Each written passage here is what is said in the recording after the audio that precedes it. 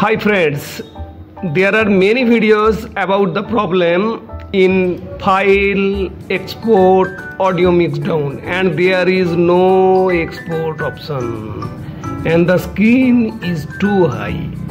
Then what to do? No problem, just right click on desktop, use your AMD Catalyst then go to desktop management desktop properties. Then here is a magic click. Just rotate your screen and it is so funny. Okay yes. Then go to your option and here is the export option.